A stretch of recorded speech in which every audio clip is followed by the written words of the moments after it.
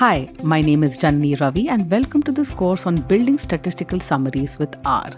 A little about myself I have a master's in electrical engineering from Stanford and have worked at companies such as Microsoft, Google, and Flipkart. At Google, I was one of the first engineers working on real time collaborative editing in Google Docs, and I hold four patents for its underlying technologies.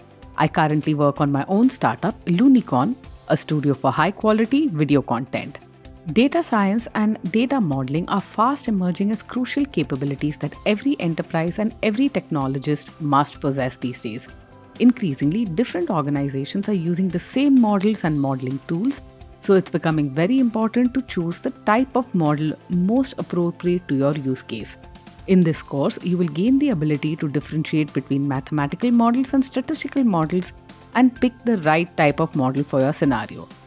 First, you will learn important characteristics of mathematical and statistical models and their applications.